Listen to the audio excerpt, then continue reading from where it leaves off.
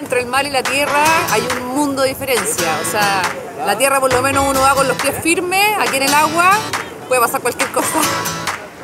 Estoy un poco ansiosa, pero también nerviosa porque es mi primera vez surfeando.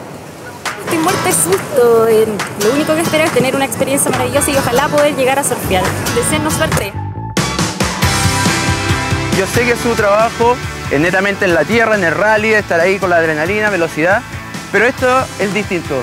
Estamos en un lugar que es netamente agua y quiero que ustedes lo pasen bien y sea una clase muy dinámica y entretenida y así tengan una buena experiencia acá en Pichilemu, la capital del surf, y aquí con nosotros en Guaitara, Escuela de Surf.